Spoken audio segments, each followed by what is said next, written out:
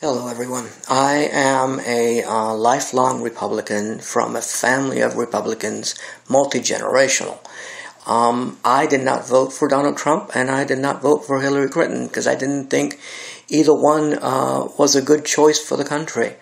As, uh, you know, as an Air Force brat, raised in the Air Force, raised in the military, um, and with several family members who are in the military, um, I know that this man is not what this country needs.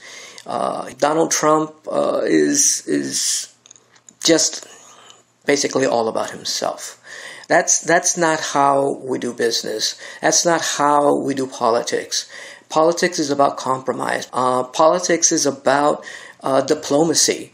Uh, we're not an insular nation, and as such, we uh, we need to know what our allies need from us and uh, what we need from them. Uh, we can't just go about alienating every ally we've made uh, for the last 200 years. Uh, we can't go about befriending those people who have sworn themselves to be enemies of this country and have nothing to say for our uh, democracy. Um, and then uh, for the recent event uh, of, of Putin paying somebody uh, in Afghanistan to kill our soldiers? This man is sworn to protect and serve. He is supposed to uphold the Constitution of these United States, and he is doing everything but. This man uh, is not for this country.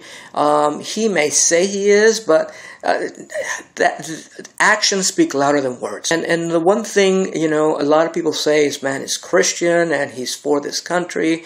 Uh, he's he's a he's a, a humble human being.